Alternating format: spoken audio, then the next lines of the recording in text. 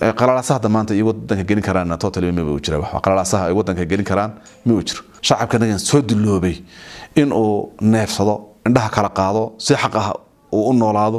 Cabdirasaaq sheekh cabdiraxmaan sayid wasiir ku-xigeenka xafiiska madaxtooyada dowladda deegaanka soomaalida oo xafiiskiisa madaxtooyada magaalada jigjiga warbaahinta kula hadlay oo ay warbaahintunu wax ka weydiisay xubno muddooyinkii ugu dambeeyey la hadlayay warbaahinta kuwaasoo sheegaya inay u diyaargaroobayaan shirweyne inay qabsadaan kaasoo ay ku tilmaameen inay ku saxayaan xisbiga b b iyagoo la baxay magaca garabka sixitaanka xisbiga b b. Cabdirasaaq sayid ayaa xusay inay xubnahani yihiin xubno horey uga tirsanaa dowladda islamarkaana xilalkii oo laga qaaday laaligeed ay yihiin niman iska caraysan waxa ay ka hadlayaan aanay salka ku haynin ama aanay ka turjumaynin xisbiga b b.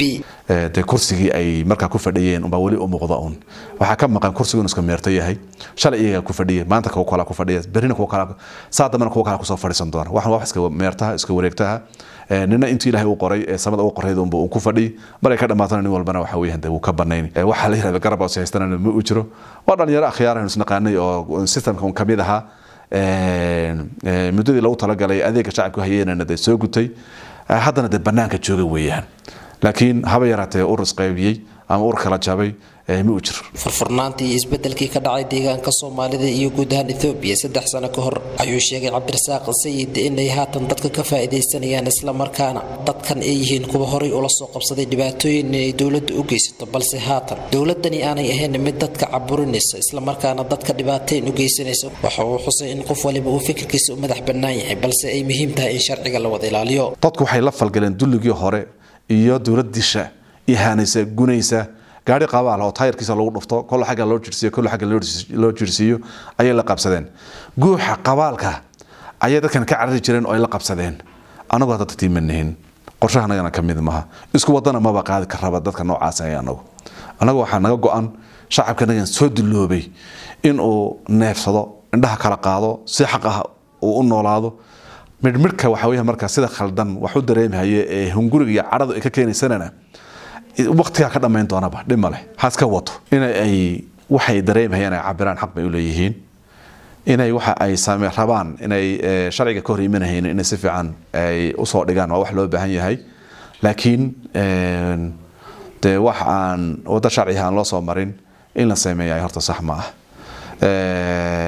Qalaalaasaha maanta iyo wadanka gelin karaan totally ma uu jira qalaalaasaha ay wadanka gelin karaan ma uu jiro iyagoo oo lala socdo oo la og yahay oo dee waa hebel rag waa las wada garanahayo haddana waxa weeyaan wax dhibana loomana geysanhayo because saameyntoodaasa koobanbaba waa iska cadhaysan way isku dhex jiraan qaar systemka ka mid ahaayeen xilligii lagu talagalay bay soo gaadheen qaarna waxa weeyaan systemkii hore kuwa ku milmay oo ku walfay bay ku dhex jiraan intoodana waxaa kulminaya waxa waa cadho un weeyaan marka u dambeysa fenar. Wax isu keenayay waa nooc cadhaha weeyaan laakiin haddii ay leeyihiin saameyn shacab haddii leeyihiin oo sax ah intay si fiican isu aabilaan oo shacabkooda wax ka dhacdhacsadaan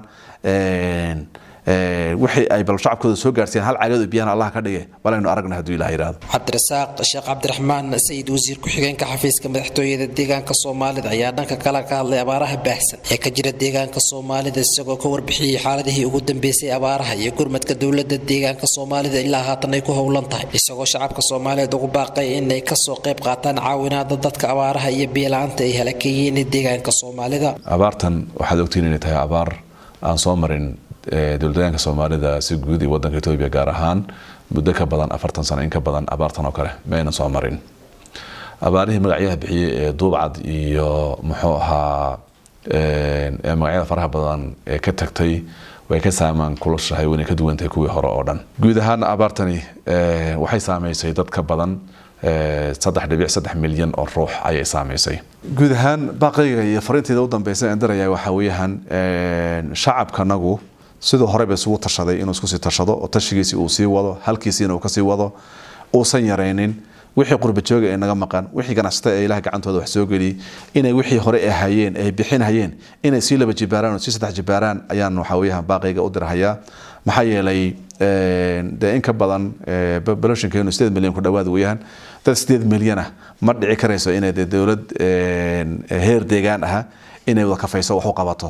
Marka isku tashigii shacabka anagu uu sameeyey ee fiicnaa aan uga mahad celinaynay ha sii laba jibaaraan ha sii wadan ayaan leenahay. Dhammaan hay'adihii kale iyaguna gacanta kula jiray hawshan abaartana iyagana waxaan leenahay sii laba jibaaraan baan leenahay. Gurmadka loo sameynaya dadka ay abaaruhu halakeeyeen ee muddooyinkii ugu dambeeyey ay ku howlan dowladda deegaanka soomaalida ayaa halkiisii ka sii socda waxaana sii baahaya saameynta abaartu ay u geysanaysa bulshada soomaalida magaalada jigjiga